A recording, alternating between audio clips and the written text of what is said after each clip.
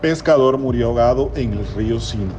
La tarde de este 16 de enero se registró un lamentable hecho en el que una persona murió ahogada en el río Sinú en el corregimiento de Callejas. Al parecer se trata del señor Luis Arango, residente de Callejas, casado y padre de dos hijos. Urango salió la tarde del 16 de enero de pesca al río Sinú y en un descuido cayó al agua y no volvió a salir. Así lo narran los compañeros que se encontraban con él. Los organismos de socorro, entre estos el Cuerpo de Bomberos, la Defensa Civil y la Policía, se dirigieron hasta Callejas para encontrar el cadáver con la comunidad.